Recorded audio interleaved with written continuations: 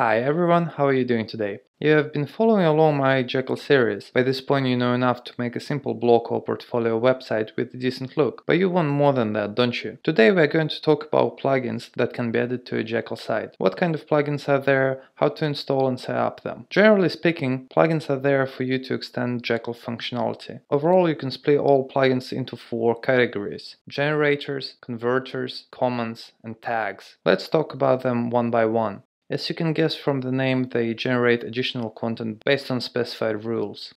These convert from other languages to HTML, CSS, and JavaScript. Jekyll Folks did a great job by including convert plugins for Markdown, Sass, and CoffeeScript by default. But if you feel like using Haml, Jade, TypeScript, Less, Stylus, or something else, you can find a plugin that will suit your needs. Commands provide subcommands for Jekyll executable, and tags will create custom tags. The difference will be self-generated values. The good news is you don't have to write your own plugins, as there are a lot of them written for you already. You can find a whole bunch of them on Jekyll website, GitHub or look through Ruby gems. Okay, as we come across a plugin that does what we want, first thing we want to do is to install it. Jekyll offers you whole three options how to install a plugin. Let's install three plugins using each of these options. I have already found this cool plugin that will generate a sitemap for us. We'll need the source code and save it in our plugins folder with any name as long as it has Ruby extension. Now as we restart Jekyll it will load these Ruby files before it will generate the website.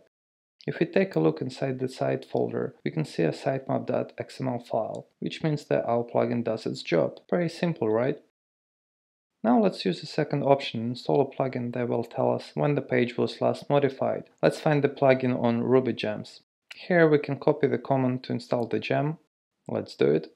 To specify which plugins we want to use in our config file, we need to have a config option called gems and pass the plugin names in an array. Now we need to add a liquid tag to block page for each blog post and restart Jekyll. We can see that the date appeared underneath the post name, therefore our plugin is working. Now let's replace this plugin with something a little more useful. Remove this plugin as we won't need it. To use the last option, we need to install Bundler. Bundler is a Ruby package manager. You can learn more about it on bundler.io. Here we can copy the command to install it. Once Bundler is installed, we need to create a gem file in the root directory. Gem file describes the gem dependencies required to execute associated Ruby code, in our case Jekyll. Then create a group where we can specify our dependencies. Let's add our plugin called Jekyll Reading Time. It returns an approximate time you need to spend to read all text on a page. To install all dependencies that we have in our bundle, we need to run bundle install. Now we have a gemfile.lock, where we can find a list of all dependencies that we are using to generate our website.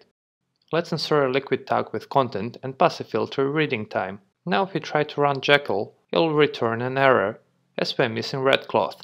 Jekyll needs it to compile our post in textile format. Let's add it to our bundle and repeat last two steps.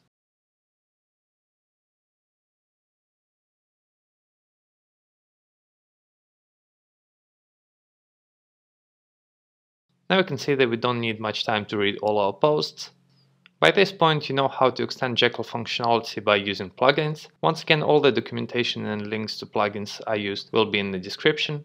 If you have any questions or suggestions leave them in the comments below. I'll see you in the next video. Bye.